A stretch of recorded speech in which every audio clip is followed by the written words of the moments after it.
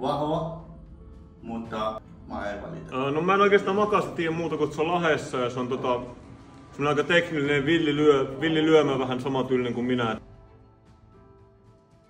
Liikkuu paljon.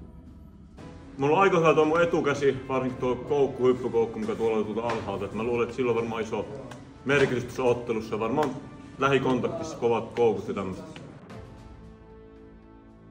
En mä tiedä, mä pitää mennä kerran ja katso. Mä oon fyysisempi. Nähdään sulle kerran.